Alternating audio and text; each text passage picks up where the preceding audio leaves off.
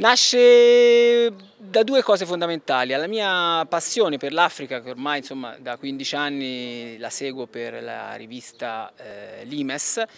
e dal fatto che ogni volta che mi avvicinavo a eh, parlare dell'ambasciatore Luca Attanasio trovavo una persona diversa che voleva raccontarmi un pezzo della sua vita e raccontarmi eh, un qualcosa di personale, sempre eh, descrivendo questo ragazzo, che definisco un ragazzo perché siamo, eravamo coetanei, eh, come una persona davvero speciale e quindi come un qualcosa che faceva del bene all'Italia e al Congo, quindi una tragedia che ci riguarda in prima persona soprattutto perché abbiamo perso una persona speciale.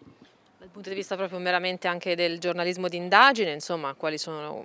gli aspetti che, che ti hanno sorpreso, che hai scoperto? Che hai scoperto? Ci sono tre inchieste in contemporanea, una delle Nazioni Unite, una della magistratura italiana e una della magistratura congolese. Le Nazioni Unite sono state eccezionali, hanno fatto i rilievi e poi hanno consegnato le prove alla magistratura italiana dicendo arrangiatevi.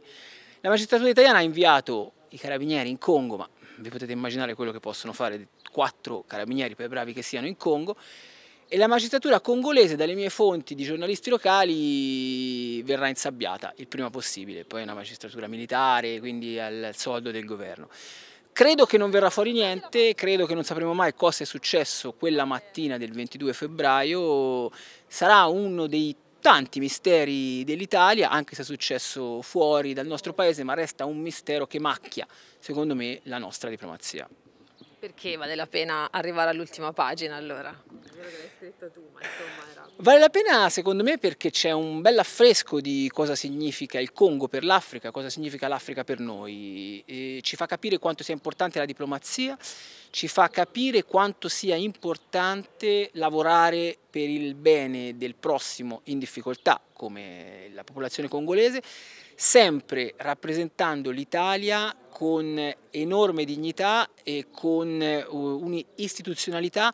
che non faceva pesare Attanasio ma che aveva rimarcata nei gesti più semplici. Senti, ormai la pandemia ci ha abituato anche a, a leggere libri in un'altra maniera, anche se io preferisco sempre quella tradizionale, però insomma questa è una versione solo tradizionale o c'è anche l'ebook?